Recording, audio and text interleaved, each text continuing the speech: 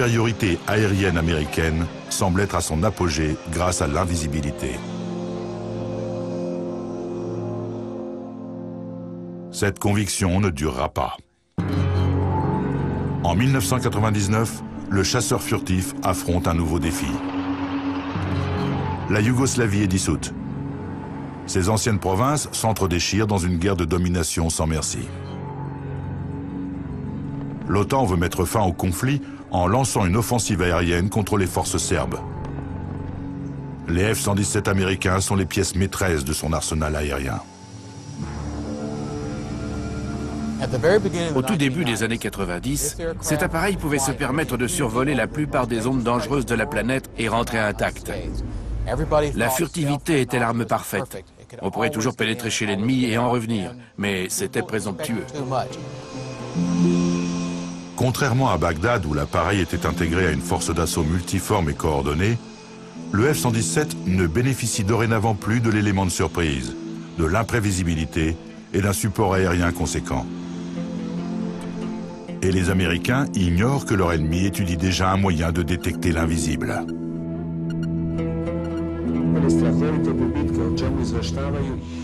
Pour la quatrième nuit d'opération aérienne, le lieutenant-colonel Zelko prend les commandes de l'un des jets noirs. J'ai regardé à l'extérieur du cockpit. et j'ai vu surgir deux missiles des nuages que je survolais. Je me suis aussitôt dit, ils m'ont eu. Mayday, Mayday, Mayday, Vega 3 Mayday, Mayday, Mayday, Vega 3 Un missile sol-air serbe a réussi à accrocher un chasseur furtif avec son radar. J'ai regardé le premier missile qui est passé au-dessus de l'appareil. Puis j'ai immédiatement tourné la tête pour repérer le second et je me suis dit, bon sang, il vient droit sur moi. Le F-117, supposé indétectable du lieutenant-colonel Zelko, est touché. Il m'a semblé que toute l'aile gauche avait explosé. L'impossible vient d'arriver. Peu après la chute de l'avion, la télévision serbe diffuse des images de la carcasse fumante du F-117. Tandis que les formes anguleuses de l'un des appareils les plus secrets du monde font le tour de la planète, l'onde de choc déferle au sein de l'OTAN, de l'armée de l'air américaine et de la Maison-Blanche. Les précieuses informations hautement confidentielles concernant les matériaux et la construction d'avions furtifs sont maintenant aux mains de l'ennemi. Et une question encore plus importante se pose. Comment cela a-t-il pu se produire Comment ce chasseur furtif, un appareil conçu pour être indécelable au radar, a-t-il pu être détecté, pris pour cible et abattu Même ses plus ardents défenseurs savent que le F-117 n'est pas infaillible. La furtivité n'est pas l'invincibilité, mais une faible perceptibilité. On peut toujours le repérer si on sait comment s'y prendre. L'histoire militaire est une succession de progrès dans l'armement offensif immédiatement suivi d'autres progrès en défense. C'est un va-et-vient constant de progrès et de riposte. La furtivité fut elle-même une réponse à d'autres progrès.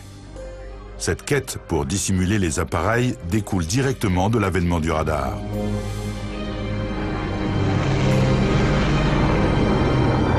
Développé pendant la Seconde Guerre mondiale, le radar devient rapidement le pire ennemi des avions.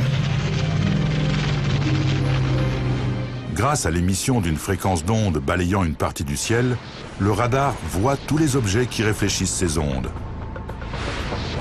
Les signaux émis rebondissent sur l'engin volant et certains d'entre eux reviennent directement à leur source. D'ordinaire, la même antenne permet à la fois l'émission et la réception. Le signal réfléchi est généralement faible, mais on peut facilement l'amplifier. Le radar peut donc ainsi détecter des objets sur de plus grandes distances que les autres capteurs. En comparant les durées d'émission des signaux reçus par les antennes, on détermine les caractéristiques de taille, de forme, de direction et de vitesse de la cible. C'est ce qu'on appelle sa signature radar. Mais surtout, le radar localise la position de l'appareil avec précision. Les avions ont toujours été pris pour cible, mais le radar les rend encore plus vulnérables. Au début des années 50, tandis que la guerre froide fait rage entre les États-Unis et l'Union soviétique, le besoin d'échapper au radar s'impose. Marqué par la présentation de cinq nouveaux missiles, la CIA a besoin d'un avion espion capable de mener des missions secrètes. La première solution furtive envisagée consiste à faire voler un avion si haut que même s'il est détecté, il se trouve hors de portée des appareils et des armes ennemies. Au milieu des années 50, les États-Unis possèdent leur nouvel avion, l'appareil U-2 de reconnaissance en haute altitude. C'est un avion qui peut voler aux confins de l'atmosphère, à une altitude de 70 000 pieds.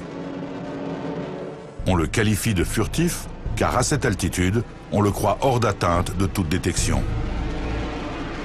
Mais les États-Unis comprennent que le vol à très haute altitude ne suffit pas le jour où l'avion espion de Gary Powers est abattu dans l'espace aérien soviétique en mai 1960. Vous voyez ici ce qui rend la furtivité essentielle. Gary Powers l'a appris à ses dépens dans son U-2. C'est le missile solaire, un SA-2 ici. C'est la raison d'être de la furtivité. Il pouvait repérer, attaquer et descendre des avions américains.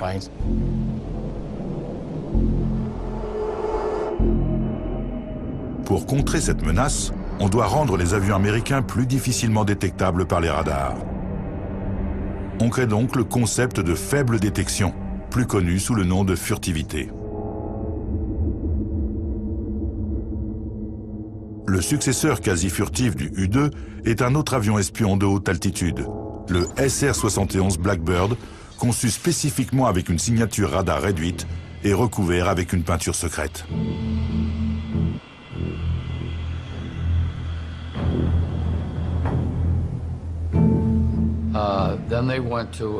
On a créé une peinture composée de microbilles d'acier, qu'on appelait d'ailleurs billes d'acier.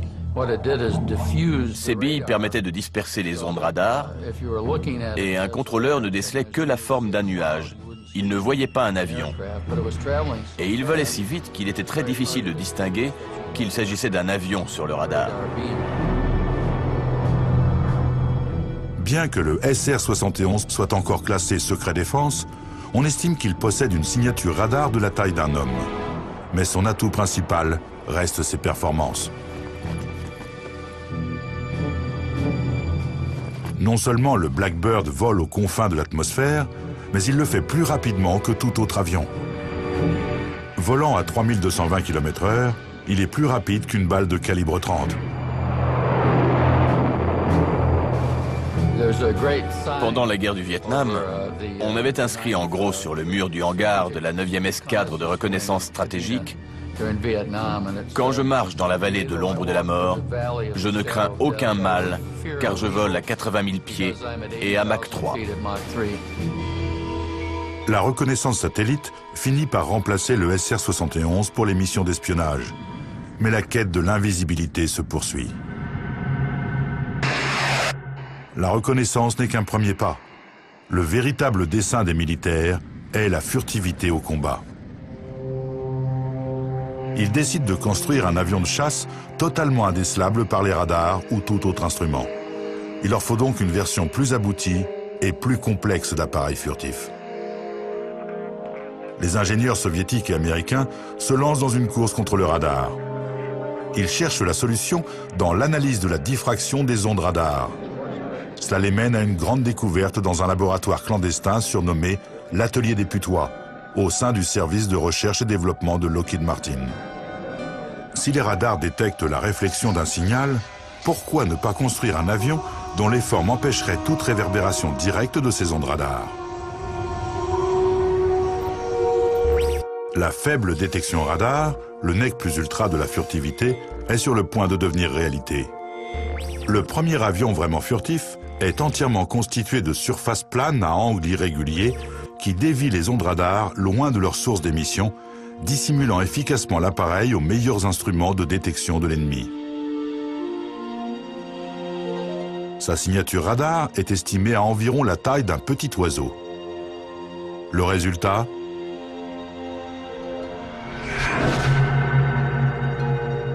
Un avion à nul autre pareil.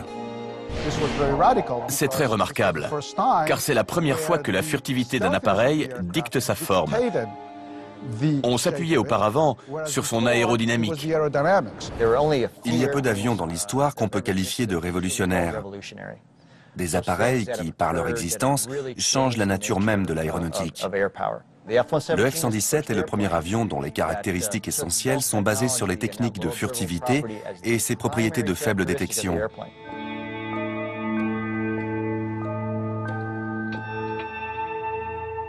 Un F-117 à pleine charge pèse plus de 23 tonnes et demie.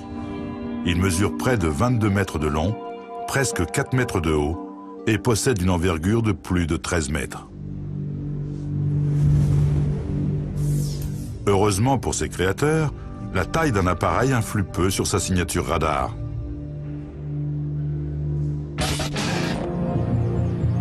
Le laboratoire des sciences électromagnétiques de l'Université de Loyo est le premier à calculer les données mathématiques réelles complexes de la furtivité. Ces mesures de réflexion d'ondes radar sur une cible donnée sont ensuite utilisées pour déterminer un simple nombre, la surface équivalente radar. Un nombre élevé est facilement détecté par le radar. Un nombre peu élevé est furtif. Comment donc réduire ce chiffre? La forme est de loin l'aspect primordial. Quand on examine n'importe quelle structure, le facteur le plus important qui contribue à sa signature radar est la réflexion sur les surfaces planes. Il faut donc toujours privilégier les angles pour que le signal rebondisse dans une autre direction et ne revienne jamais à son point de départ. Les arêtes à l'intersection de deux surfaces sont les plus propices à réfléchir le signal et sont les premiers facteurs déterminant la surface équivalente radar. Ces problèmes de réflexion impliquent d'éviter tout appendice extérieur.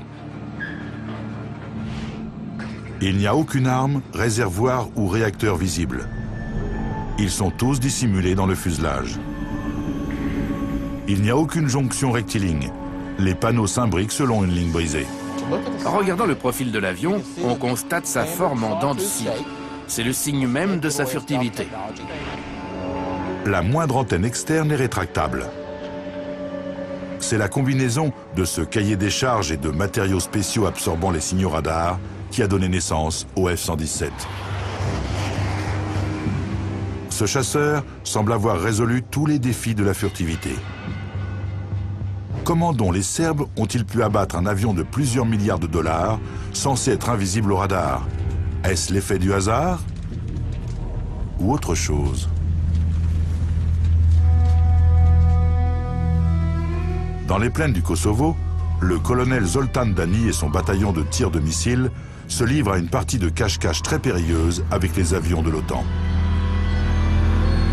Ils se déplacent souvent, s'abritant où ils le peuvent et circulant sous couvert de l'obscurité sans le moindre éclairage. C'est dans cet endroit secret, non identifié, que le colonel Dani et ses hommes visent et touchent le premier F-117 jamais abattu au combat.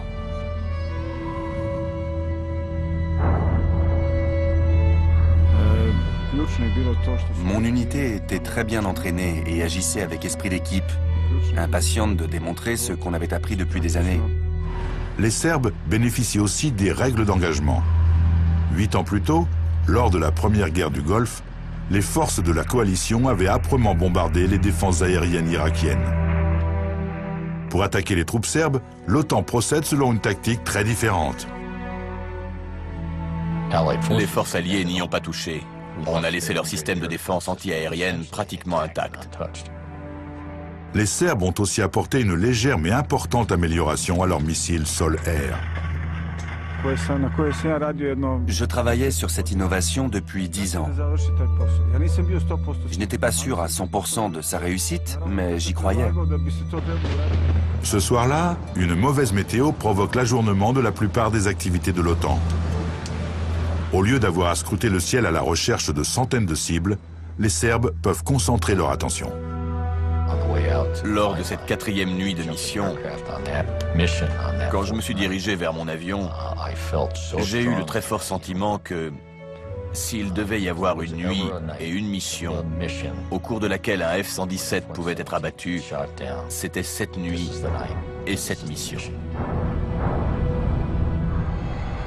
Et la situation ne fait qu'empirer. Alors qu'elle vole déjà, une escadre de F-16, dont la mission consiste à abattre les missiles sol-air serbes, reçoit un ordre d'annulation.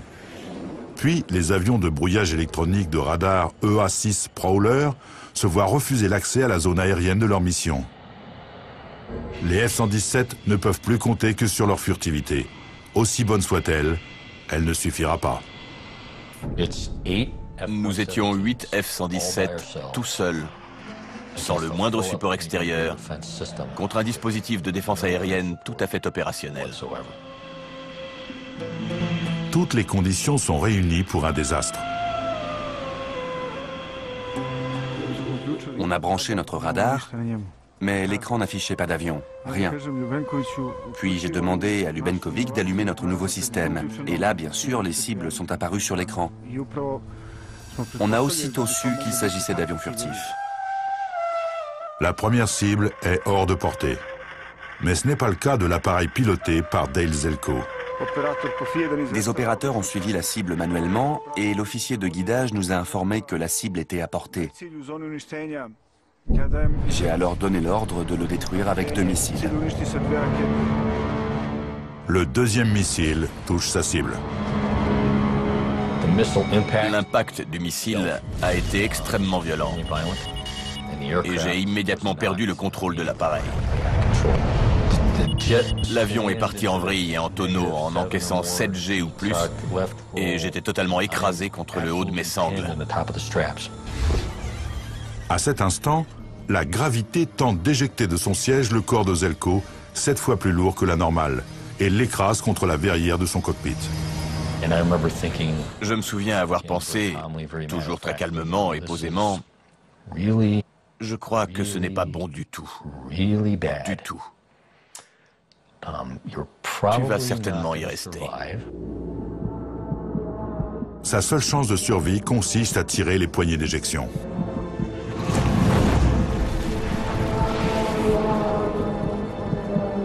Je ne me rappelle pas avoir saisi ou tiré les poignées d'éjection. Je crois sincèrement qu'on m'y a aidé. Je me souviens seulement être assis dans mon siège, regardant le cockpit s'éloigner de moi.